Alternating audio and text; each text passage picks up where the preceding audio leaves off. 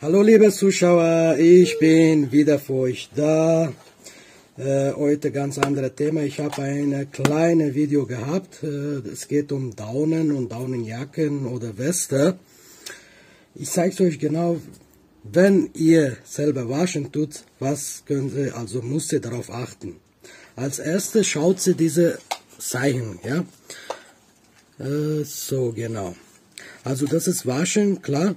Und diese Dreieck ist Bleichen, also das heißt weggestrichen. Also alles, was scharfes, äh, keine Ahnung, mit Bleiches zu tun hat und Flecken nicht bearbeiten. Bügeln ist auch klar. Diese Kreise, wo durchgestrichen ist, das ist chemische Reinigen. Das heißt, darf man nicht chemisch reinigen. Wenn in diese Kreise steht P, F, R, dann ist chemische Spezialreinigung. So, das wichtigste Thema ist bei dieser, äh, also sag mal beim Daunen Trockner. Ja, in dem Fall ist auch weggestrichen. Ja. Äh, bei manchen steht zum Beispiel ein Punkt oder zwei oder drei Punkte. Das heißt die Temperaturhöhe. Also das musst du schauen und achten, dann äh, klappt ganz gut. Aber wenn beim Trockner so durchgestrichen ist, können Sie trotzdem in Trockner reintun, aber mit einer milden Temperatur, also 30 Grad. Ja.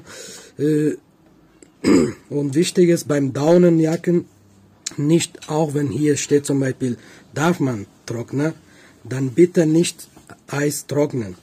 Immer langsam trocknen lassen, manchmal äh, dauert zwei, drei Stunden. Also einmal trocknen, dann lassen raus, dass kalt wird und dann wieder Dings im Trockner rein und äh, langsam trocknen. Also immer langsam trocknen.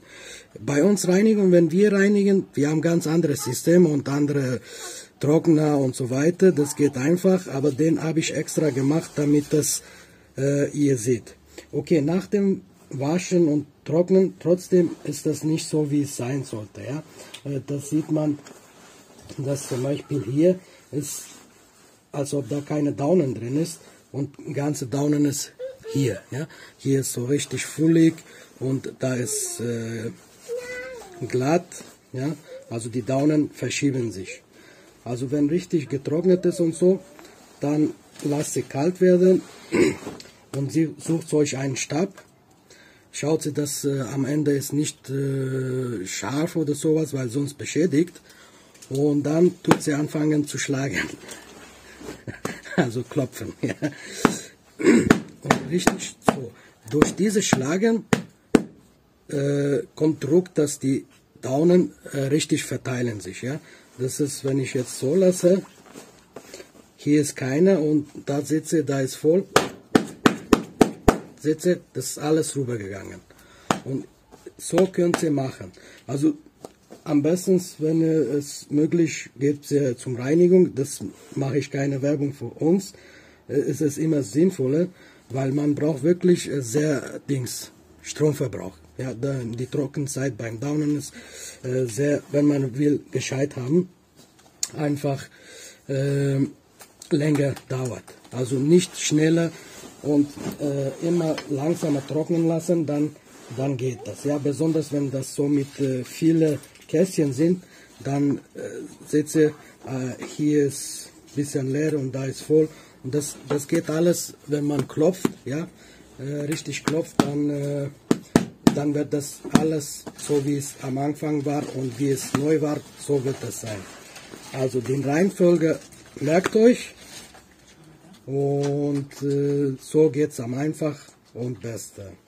Also ich hoffe, dass euch gefallen hat. So dem ja, einfach so klopfen und dann ist eure Jacke wieder gut.